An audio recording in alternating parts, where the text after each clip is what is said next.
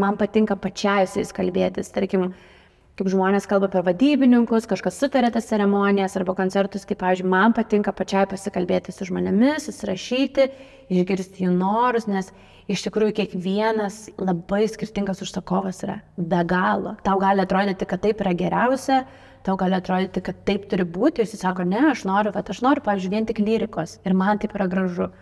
Noriu valio ir pristaikai. Ir, pas, ir padarom tai.